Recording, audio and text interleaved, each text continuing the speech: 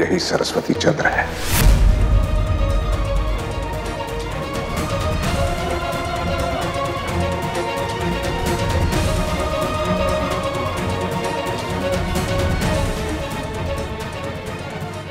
मैंने तुम दोनों की बातें सुन ली थी।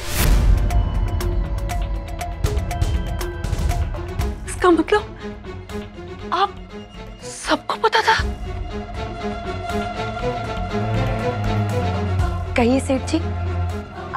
कहिए ना सेठानी जी। क्या आप इस औरत को अपनी बहू कहेंगी? हाँ? क्या कह रही हूँ मैं? इसे तो देवी बना के रखा था आप लोगों ने। तो अब बताइए, क्या इस देवी को आप अपने घर के दरवाजे पे आने देंगी?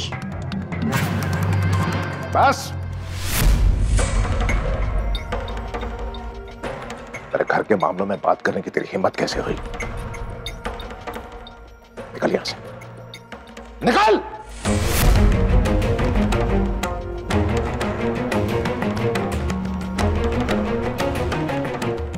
छोटे से आ, आप कुछ बोल ही नहीं रहे चुप।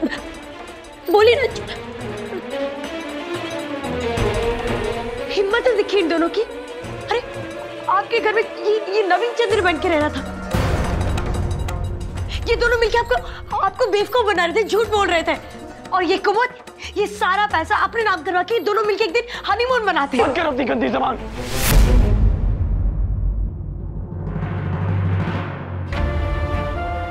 हाँ मैंने झूठ बोला।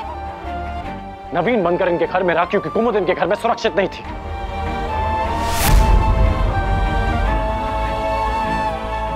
माई मैंने अपनी माँ से वादा किया था कि जिस दिन कुमुद उसके ससुराल में सुरक्षित हो जाएगी, उसी दिन मैं उसकी ज़िंदगी से हमेशा के लिए चला जाऊँगा।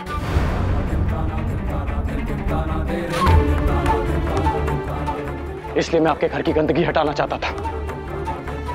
ये आपके घर की गंदगी। कलिका जिस घर में पली पड़ी, उसी को लूट लूट के खा रही थी। और तुम्हारी इतनी हिम्मत तुम कुमुद पे उंगली उठाओगी। Suraj Nagar. Account number four six eight three आपके घर से कैश जेवर चुरा चुरा कर। ये उस अकाउंट में जमा कर रही थी। और इसलिए ये शादी कर कर आपके घर से नहीं जाना चाहती थी। क्यों? सही कह रहा हूँ कि नहीं? और तुम? तुम क्या कर रहे थे? कुमुद की मदद कर रहे थे यहाँ पे रह के। नवीन च- सरस्वती चंद्र, है ना? क्या कर रहे थे तुम इसके साथ? छोटे सेठ की बीवी के साथ अयाशी कर रहे थे।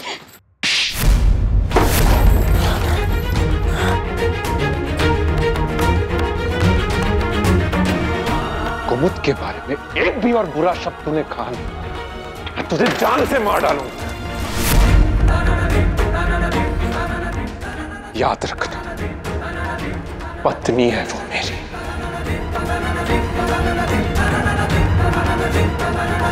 याद रखना पत्नी है वो मेरी बस मुझे सब पता है बचपन से लेकर आज तक मेरे दिमाग में जहर भरा तूने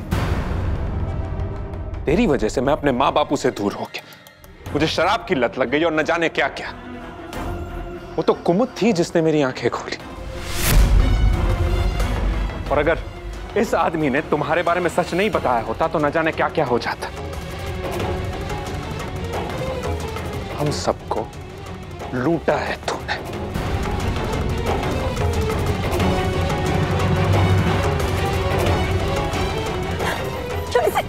मेरी बात तो सुनिए ये ये- या जो कुछ भी हुआ उसके लिए मैं आप सबसे माफ़ी माँगता हूँ। आप सबसे विनती है कि